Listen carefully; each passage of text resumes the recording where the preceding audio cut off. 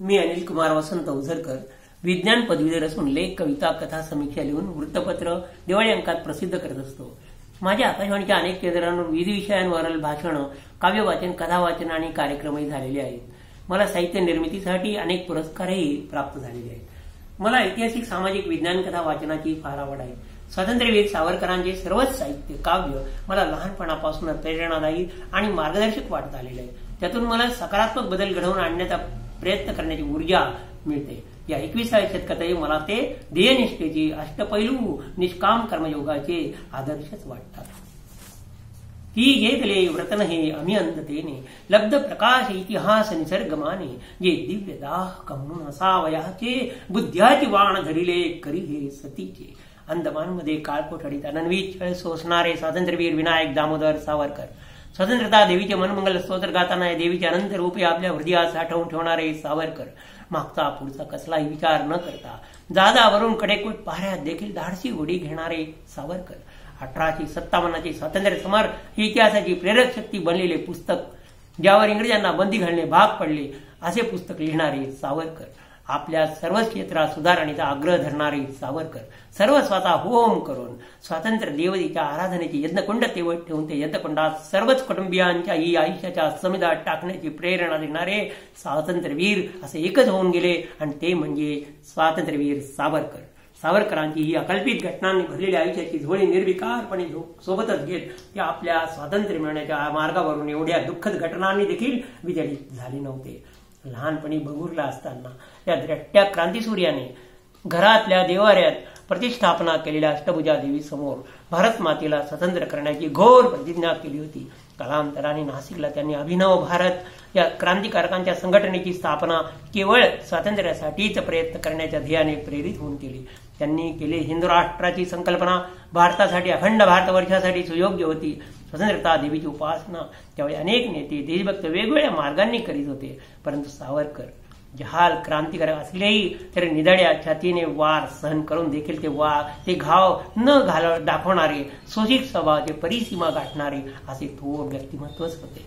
लढ्याशिवाय हे पारतंत्र्याचे जोखड फेकून देता येणार नाही याची कल्पना लोकांना देताना हा नेहमीच दाखला ते देत असत. ते नेहमी म्हणत रणावीण स्वातंत्र्य कोणा मिळाले? प्रश्न या प्रश्नाला अहिंसा हाच स्वातंत्र्य मिळण्याचा एकमेव मार्ग आहे असे आग्रहाने सांगणाऱ्या लोकांना लोकांनी समर्पक उत्तर द्यावे असं ते म्हणत असत. याचा अर्थ स्वातंत्र्यासाठी वाटेल तेवढा रक्तपातच करायला हवा असेही नाही. स्वतः सावरकर आपल्या कवितेत स्वतंत्रता देवीबद्दल म्हणतात हे अदम रक्तरंजिते तुझ न पूजिते. तर स्वातंत्र्य कसे मिळणार?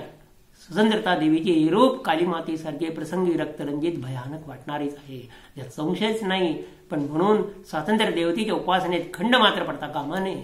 जीवार उदार होऊन इंग्रज शत्रूशी लढल्याशिवाय स्वतंत्र देवी कधीही प्रसन्न होणार नाही आणि स्वातंत्र्याचे हवे असलेले वरदानही आपल्याला देणार नाही असं त्यांचं ठाम मत होतं. हिंदू धर्म आक्रमण करण्याचे टाळतो परंतु धर्मयुद्धासाठी न डगमगता मात्र शस्त्र हाती घेतोच. असे ते सांगत.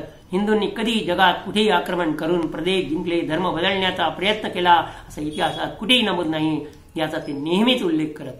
जगाच्या इतिहासाचा हिंदू धर्माचा कायद्याचा मराठी भाषेचा त्यांचा अभ्यास आणि व्यासंग दांडगा होता. देशाची गुलामगिरी दुष्काळ रोगराई लोकसंख्येमुळे झालेली हलाखीची परिस्थिती त्यांना अवगत होती. म्हणूनच सशक्त बलशाली राष्ट्र निर्माण आणि विज्ञान अनिष्ठाच्या हिंदू समाजाचे हिंदू राष्ट्र होण्यासाठी त्यांना तर अभिप्रेत होते. म्हणूनच मग त्यांनी सैनिकी शिक्षण आणि शस्त्रसज्ज होण्याला प्राधान्य दिले. ही क्रांतिकारक म्हणून केवळ राजकीयच नव्हे तर भारतीयांच्या जीवनात सर्वच बाबतीत सकारात्मक बदल होऊन सर्व बाबतीत स्वातंत्र्य मिळायला हवे असं त्यांचं ठाम प्रतिपादन होतं. स्वतंत्रता देवीची कठोर आणि निष्काम धर्म निष्काम भावाने केलेली आयुष्यभराची उपासना केवळ अद्वितीय होती. स्वतंत्रता देवीच्या चरण कमलांवर दृढ ध्येयासाठी समर्पित जीवन म्हणजे उदात्त पवित्र व्रताचा महायज्ञाच्या सांगतीसाठी केलेला देव आता हासच होता. एखाद्या निष्काम कर्मयोग्याप्रमाणे जीवन जगणारा हा भूतपूर्व क्रांतिकारक योगीच होता. हे सर्व केवळ स्वातंत्र्याच्या ध्यासासाठीचे समर्पण होते. नमो स्तुते श्री महन मंगले शिवास्पदे शुभदे. स्वतंत्रते भगवती त्वामहम यशो यताम वंदे हीच त्यांची एक मनोकामना होती. भारतंत्र्यात जखडलेल्या कोटी कोटी भारतीयांच्या स्वतःच्या सार्वभौम राष्ट्राच्या स्वातंत्र्यासाठी त्यांची धडपड होती. म्हणूनच ते त्यांच्या आयुष्याचा घरादाराचा कुटुंबियांचा कशाचाही विचार न करता आपल्या ध्येयासाठी बेभान होऊन त्यांनी धोकून दिले होते. मातृभूमीच्या स्वातंत्र्यासाठी काही दिव्य करण्याची त्यांची तयारी सागरा प्राण तळमळला या हृदयाला हात घालणाऱ्या त्यांच्या सुंदर कवितेतून दिसून येते.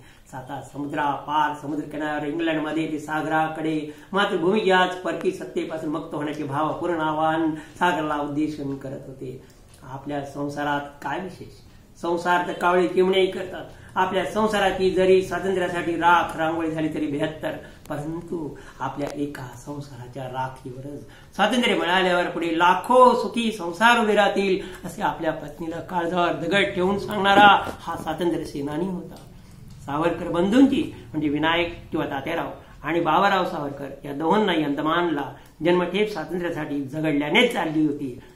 संपूर्ण कुटुंब या स्वातंत्र्य लढ्यात अखेरशः होर पळून निघाले होते याची पूर्ण कल्पना आजच्या पिढीला नाही याचं मात्र मला दुःख होतं.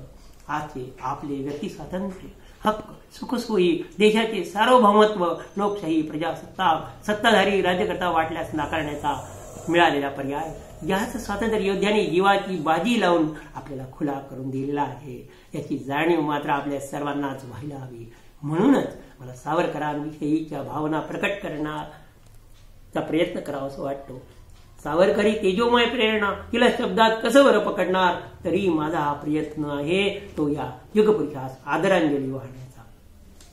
वीर विनायक कोहिनूर तो भारत मुकटावरती. नज स्वातंत्र्याची आस पाहिली तयासारखी अवनीवरती.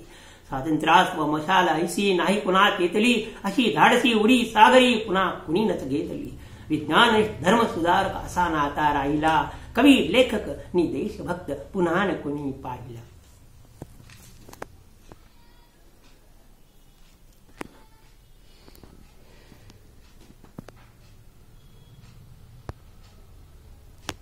झालं?